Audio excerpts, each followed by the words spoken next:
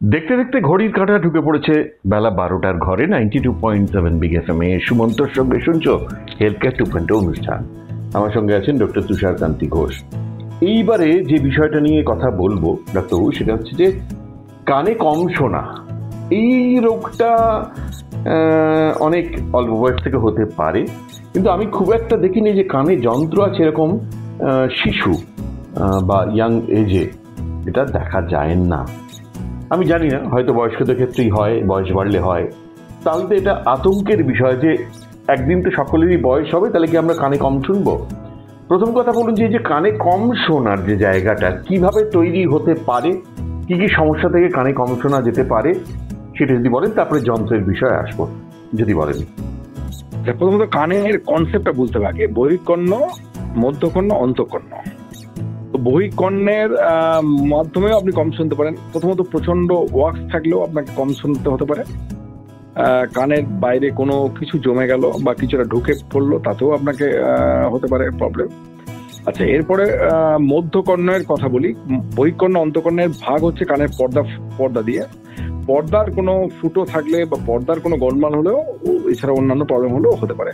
এছাড়া এবার মধ্যকর্ণে চলে যাই, পর্দা ফুটোর সঙ্গে আরও হাড়ের ভেতরে রোগের জন্য অনেক সময় কানের ভেতরে যে অসিকেলগুলো হাড়ের যে হাড় যেগুলো শোনায়, সেগুলো যদি আপনাকেও, যদি খেয়ে যায়, খেয়ে খেয়ে যায়, তাহলেও কিন্তু আপনাকে, এটা হতে পারে যে কানের শোনা কমে যাবে। এছাড়া এরপরে রয়েছে নার্ভ লস তো নার্ভ হ্যাঁ এরপরে মধ্যকর্ণের মধ্যে হাড় ফিক্সেশন হয়ে যেতে পারে ওটোস্কেস বলে রোগ আছে।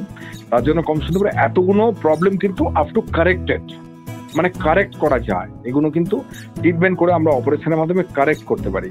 বা এমনি ময়লা বার করে কারেক্ট করতে পারি, পর্দা ফুটো কারেক্ট করতে পারি টেম্পোরাল বোন হারে ম্যাস্ট্রয়েড প্যাথোলজি কারেক্ট করি, শুনিয়ে দিতে পারি অসিক্যাল ড্যামেজ হয়ে গেছে শুনিয়ে দিতে পারি স্টেপিস পাল্টে দিয়ে হাড় পাল্টে দিয়ে আমরা নতুন করে পিস্টন লাগিয়ে দিয়ে শুনিয়ে দিতে পারি, অতগুলো। এরপরে আসছে যেগুলো ইনঅপারেবল মানে হচ্ছে করা যায় না। কিছু আছে নার্ভ লস বয়সের সাথে সাথে নার্ভ লস হয়ে গেছে, সেগুলো কিছু করা যায় না। আর একটা হচ্ছে বধির অবস্থায় যদি কোনো পেশেন্ট আসে, একদমই ককলিয়া নার্ভ ঠিক আছে, তার ককলিয়া ড্যামেজ হয়ে তখন কিন্তু ককলিয়ার ইমপ্ল্যান্ট বসিয়ে শুনেই দেওয়া যেতে পারে। একটু বড় ব্যাপার, একটু যদি পাঁচ বছরের মধ্যে বাচ্চাগুলো আসে, তাহলে কথাও শিখিয়ে দেওয়া যাবে ককলিয়া ইমপ্ল্যান্ট করে, সেটা আমরা করি।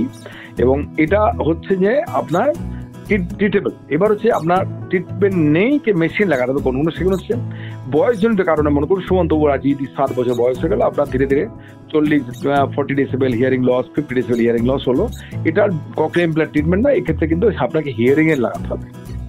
তার মানে কিছু প্রবলেম আছে, যেগুলো বাচ্চাদের হান্ড্রেড পার্সেন্ট মনে করুন, আপনার যদি লস হয়ে গেছে, কিছু আর করার নেই, সেগুলো কিন্তু ককলে ইমপ্ল্যান্ট কিন্তু মাঝামাঝি seventy decibel eighty decibel hearing loss হয়েছে। ধীরে ধীরে প্রেস বাইকোসিস বলে আমরা বয়সের সাথে হিয়ারিং লস হচ্ছে।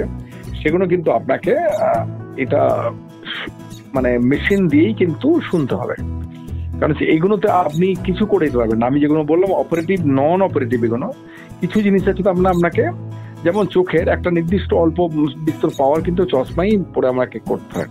কিছু ডিপলি কিছু রোগ আছে আজকাল যেটা অনেক বেশি মায়োপিক সেগুলোকে যেমন লেজিক করে ঠিক করা হয়। কিন্তু বেশি কিছু ছোট ছোট পাওয়ার কিন্তু আমরা চশমা পড়ি ওগুলো কি চশমা পড়ি তো সেরকমই আমাদেরও বেশ কিছু জিনিস আছে। এটাকে লোকে স্টিগমা ভাবে, এটা খুব দুঃখজনক যে এটা কেন স্টিগমা ভাববে। এটাকে প্রপারলি আপনাকে মেশিন লাগিয়ে আপনাকে শোনা উচিত। দেখুন, যদি না শোনেন আপনি যে পেশেন্টটা নার্ভ লস নিয়ে না শুনে কাটাচ্ছে আর যে পেশেন্টটা নার্ভ লস নিয়ে শুনে কাটাচ্ছে মেশিন নিয়ে, তিনি কিন্তু ভালো থাকবেন। আপনি যদি দু বছর পরে টেস্ট করা দেখে যে ভদ্রলোক মেশিন নিয়ে আছেন তার কিন্তু নার্ভটা সতেজ থাকবে এবং ওনার নার্ভটা কিন্তু কমজোরি হবে না।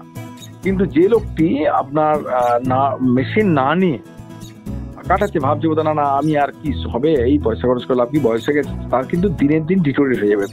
ব্যাপারটা ভাবুন আপনার হাতের ফিজিওথেরাপির মতো। আপনি যদি হাতটাকে না কাজ করে, একটু উইক আছে, আপনি যদি ফিজিওথেরাপি না করে শুয়ে রাখেন হাতটাকে, তাহলে কি হচ্ছে, হাতটা আর কাজ করবে না? আস্তে আস্তে ডিটোরি খারাপ হয়ে যাবে। কিন্তু আপনি মনে করুন, হাতটা খারাপ আছে, কিন্তু তাকে এক্সারসাইজ করে করে চাগিয়ে রাখেন, তাহলে অল্প অল্প হাতটা কাজ করবে। তো নার্ভের ক্ষেত্রে তাই, আপনি যদি স্টিমুলেশন দেন ডাক্তারের কাছে কিছু পরামর্শ মতো ওষুধ খান। ভালো হয়ে যাবে না।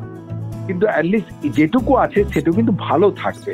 আমরা কোনোদিন নার্ভ লস কিন্তু পৃথিবীতে কেউ যদি দাবি করে যে নার্ভ লস ওষুধ, অনেকে কোশ্চেন করে, ডাক্তার একটু ওষুধ দিয়ে দিন না নার্ভ লসটা ঠিক করে। যদি নার্ভ লসে ঠিক করার ক্ষমতা থাকতে তাহলে মানুষ মরে গেলে তো বাঁচিয়ে দেওয়ার ক্ষমতা থাকবে তো নার্ভ একটা ব্রেন টিস্যু আলটিমেট তো ব্রেন টিস্যু তো সেই টিস্যুকে তো রিভাইভ করার ক্ষমতা তো সাধারণ মানুষের কারণেই না। তো সেটা ভগবানই দিয়েছে বেসিক্যালি তার মানে এইটা যদি সাডেনলি কেউ যদি নার্ভ লস নিয়ে আসে, তখন কিছু ওষুধ তখন সে মরেনি তার মানে। তখন রক্ত চলাচল বন্ধ করে কিছুদিন আইসিইউতে ঘুমিয়ে যাওয়ার মতো হয়ে গেছে। তখনও কিন্তু বাঁচিয়ে দেওয়া যায়। কিন্তু যদি একান্তই নার্ভ লওয়ার সময়ের সাথে সাথে নার্ভ লস হয়ে যায়। না বয়স, যেমন আমি সত্তর বছরের মানুষকে আঠেরো বছর করে দিতে পারব না তেমনি নার্ভ লসটা যদি হয়ে যায় সত্য, আমি কোনোদিন ওষুধে তাকে আর ওই নর্মাল হিয়ারিং পনেরো ডেসিবেলের মধ্যে আনতে পারব না। এইটা হচ্ছে বেশি কিন্তু লোকে এটা অনেক সময় বুঝতে চায় না যে, না, একটু ওষুধ দিয়ে দেখি না, একটু কমিয়ে দিন না মেশিন লাগাবো না। এটা হয় না বেসিক্যালি চশমা না পড়লে কিন্তু চোখই খারাপ হয়। কিন্তু মেশিন না পড়লে কানও খারাপ হয়। হ্যাঁ কিন্তু ডাক্তারবাবু একটা দারুণ দিক আপনি আজকে তুলে ধরলেন। মানে আমি অবাক হয়ে গেলাম, চমকে গেলাম। এরকম ঘটনা ঘটানো সম্ভব, সেটা বলব। ফিরছি সেই নিয়েই। কান্তাকুর ninety two point seven Big F সুমন্তর সঙ্গে শুনছো হেলথ কেয়ার টু পয়েন্ট অনুষ্ঠান। সঙ্গে আছেন ডক্টর তুষার কান্তি ঘোষ, বিশিষ্ট ইএনটি স্পেশালিস্ট